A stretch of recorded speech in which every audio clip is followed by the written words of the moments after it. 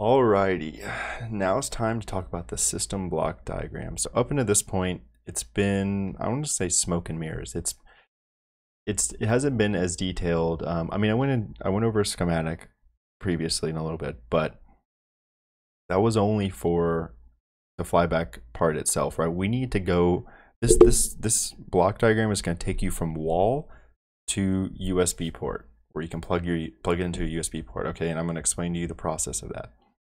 So just looking at the diagram, it's a very simple diagram, right? Um, so just looking at the diagram, the first part we're going to start at is the AC input. That's where the wall is. And the interface to the, the AC input is going to be that IEC 320-C14 connector that I mentioned in the spec sheet video. So like I said, that's what's going to get power to come out of the wall, and then that's what's going to plug into our flyback converter on the AC side, okay?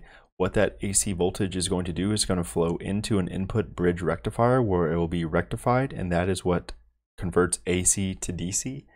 Um, I might cover a bridge rectifier in a later video, but it's not going to be anywhere like there's a million and one videos and sources out there to figure out what uh, a full wave bridge rectifier is and how to design that circuit. Um, so I'm not sure how in how in how in depth I will go on that, but just know that's what you got to do. So you have to take your AC input and then you have to rectify it. So now it's DC.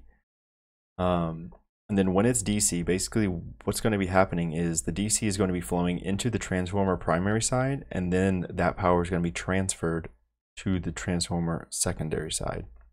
And this should sound very familiar. It should sound like a lot of other times I kept talking about the whole, I went into extreme detail of exactly how this process works and just understand that this this process is governed by the flyback controller.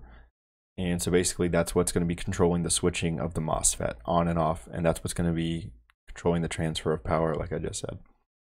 So then once it gets to the secondary side on the output it will be in the form of 5 volts.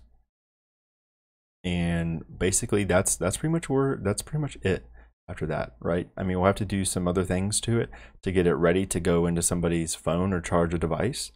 But other than that, um, that's pretty much all you have to worry about in terms of, of getting it to go from AC, 120 volt AC or whatever your AC is to 5 volts DC. That's pretty much the whole process.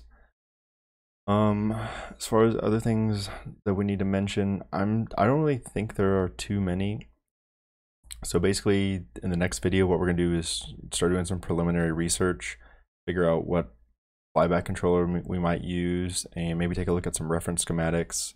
I'll kind of show you that whole process, how I basically get the ball rolling on the design phase.